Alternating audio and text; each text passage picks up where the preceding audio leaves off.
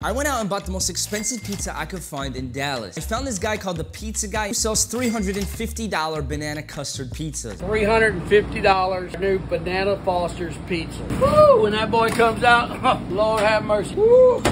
This is the final result. But what my buddy doesn't know, how much it actually cost. All I told him was that I wanted him to taste test expensive pizza. How much did this cost? $350. 350? Put it on a business card? Yeah.